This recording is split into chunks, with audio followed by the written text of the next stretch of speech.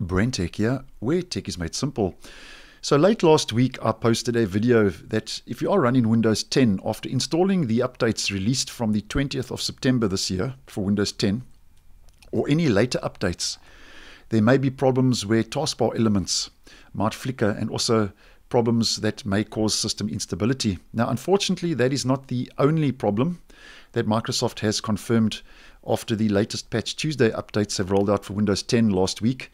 And once again, over on Microsoft Docs on their known issues page, they have confirmed another issue where Microsoft says that after installing KB5021233, which was the Windows 10 Patch Tuesday update that rolled out last week, some Windows devices might start up to an error with a blue screen, and that's the dreaded blue screen of death. And that error is 0xC000021A.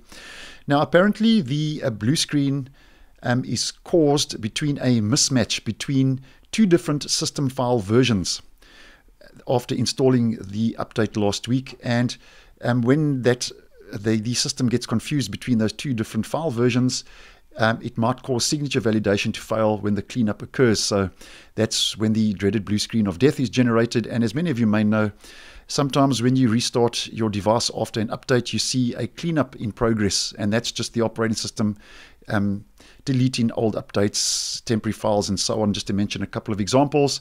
So that's the problem. A blue screen of death um, is caused between a mismatch between two different system file versions that might cause signature validation to fail when the cleanup occurs. Now, if you are experiencing this issue, thankfully I'm not, but if you are, if we just head over to um, Microsoft's known issues page, um, I've already described the problem, and yeah, they actually give a temporary workaround until they roll out a fix. Now, it's quite in depth, and it does require you to head over to the Windows recovery environment. So if you want to try this workaround, I will leave a link to this post in the description so you can just follow these steps provided by Microsoft step by step, and hopefully that will resolve the issue. And um, Microsoft does mention, though, if you do um, apply that workaround, it is not recommended to follow any other workaround than those recommended above.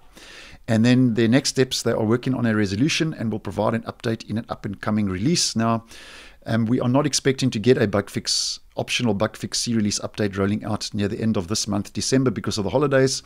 So, um, if Microsoft doesn't roll out an out of band update for this issue before the end of this month, then we could possibly see this resolution roll out um, on the second Tuesday of um, January next year, 2023. But I hope they resolve this sooner than later.